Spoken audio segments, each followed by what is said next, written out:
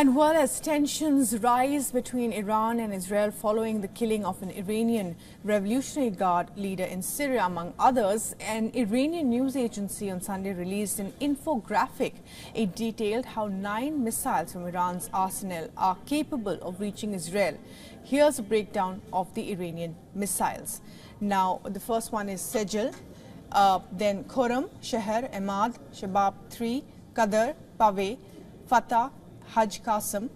Uh, Tehran has claimed that three these ballistic missiles uh, with speeds ranging from Mach 5 to Mach 14 are equivalent to speeds ranging from over 6,000 kilometers per hour to over 17,000 kilometers per hour.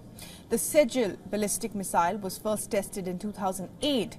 Meanwhile, Iran unveiled the Khorramshahr missile in 2016. Tehran has been developing its a growing rocket arsenal over the last decade and is known to have the most diverse arsenal in West Asia with over 3,000 missiles. Now, the variety of missiles Iran's, in Iran's arsenal are capable of hitting targets between ranges of 300 kilometers to 2,000 from Iran, and it claims that all these missiles are capable of targeting Israeli territory.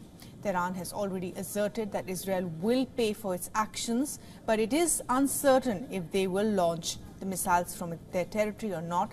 The country has previously attacked Syria, Iraq, and Pakistan with missiles and drones. If Iran attacks Israel, it would be the first test for Israel's defenses against Iran's claimed deterrent ballistic missiles.